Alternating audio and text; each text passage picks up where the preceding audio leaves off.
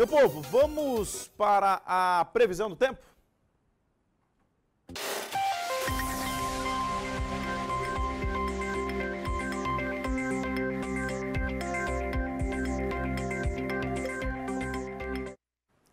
Olá, Rude. Bom dia para você, bom dia para todo mundo. Olha só, o calorão continua nesta quarta-feira. O dia será totalmente de céu limpo e temperaturas elevadas, sem previsão de chuva para Três Lagoas, viu?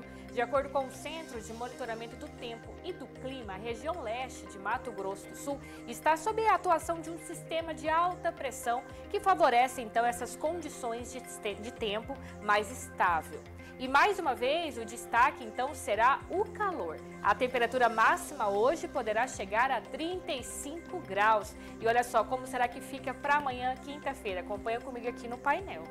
Olha só, vamos lá. Amanhã também vai ser um dia de bastante calor. Três Lagoas com uma mínima de 17 graus e máxima de 34. O município de Paranaíba, mínima de 17 também, mas com uma máxima de 32. Aparecida do Tabuado, 18 graus de mínima e 31 de máxima. Inocência, 18 também de mínima, com 33 de máxima. E Água Clara, então, 20 graus de mínima e 33 de máxima. E olha só, essa pouca nebulosidade, o predomínio do sol, deixam os níveis de umidade relativa do ar abaixo do ideal. No período da tarde, hoje ali por volta das 3 horas da tarde, os índices podem ficar entre 40% e 15% no estado, especialmente aqui nas regiões também leste e pantaneira. Aqui que é a região leste, claro, e a pantaneira.